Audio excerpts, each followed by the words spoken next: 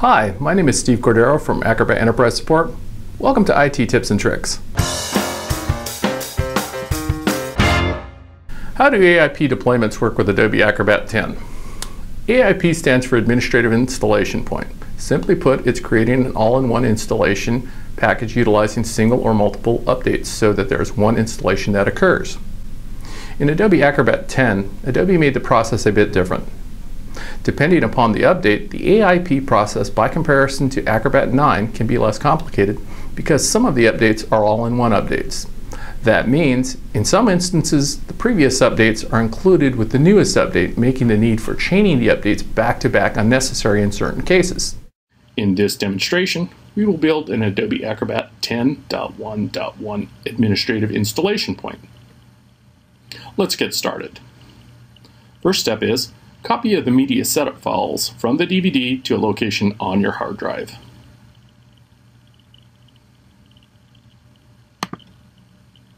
And here we are.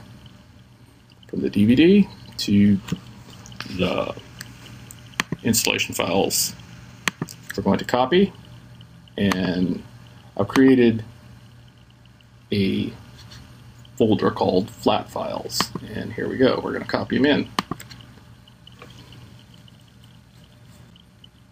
okay done copying the next step is to open up the command prompt and navigate to the folder location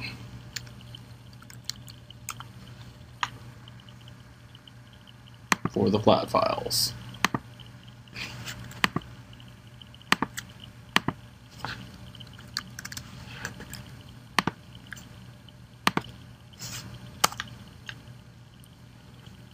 Once we're at the location for the flat files, we run the administrative install command from here, which is msi exec.exe space forward slash a, and then the name of the MSI file. In this case, it's acropro.msi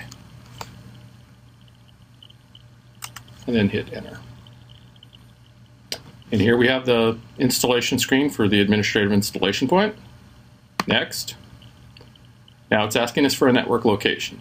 You can actually put it on a local area, which is what we're going to do here, but you can also put it on a shared drive.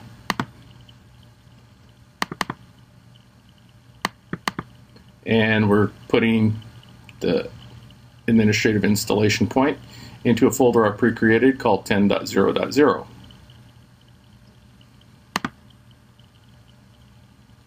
And now let's install.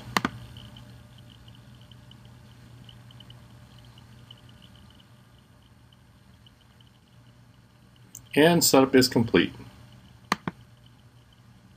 Okay, so we've got the first part done, and let's show you what that all looks like.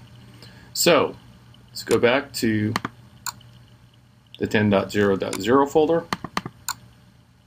and here we have the expanded version of the installer with all the reciprocal folders and locations to where the installation files go for Adobe Acrobat Pro. But we're only half done. Now, Let's copy this folder and paste it back in, same location. And we'll need to rename this folder as soon as it's done copying.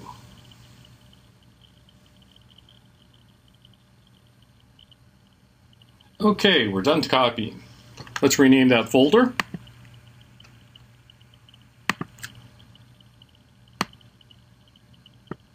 to 10.1.1.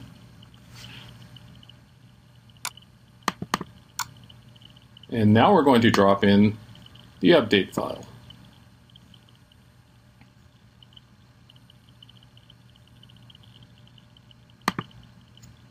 Next step is to run that update with the administrative installation back into its folder. Let's do that. First, we need to navigate to the 10.1.1 folder.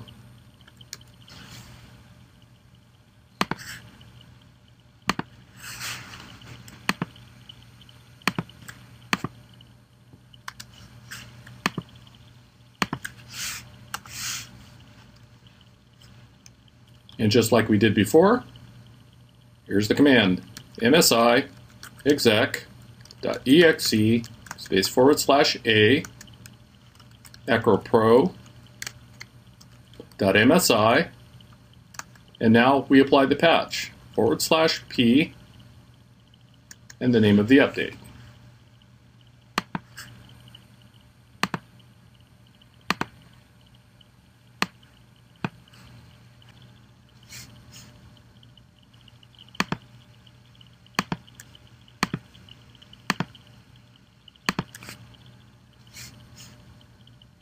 And enter.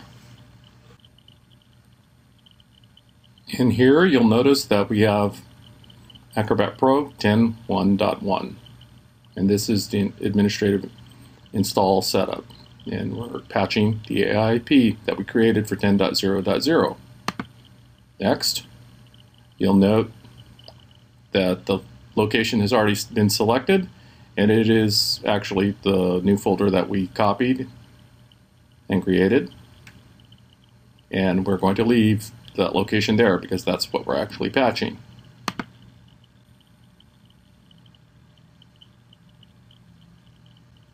And setup is complete.